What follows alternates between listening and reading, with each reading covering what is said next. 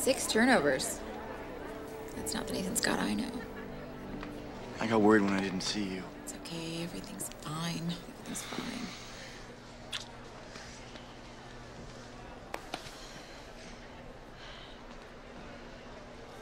I need to uh, ask you a question. If I don't go to Duke, if I don't play college basketball, I mean, if, if today is the best it ever gets for me, will that be enough? As long as you are a good husband and a good father to your son. It's a boy, Nathan.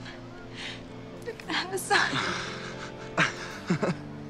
Although I have to tell you, someday he's gonna tease his father for playing like crap in the state championship.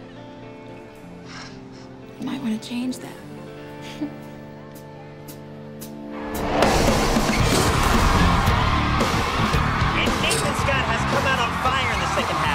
ball the hole on the Ravens' first three possessions.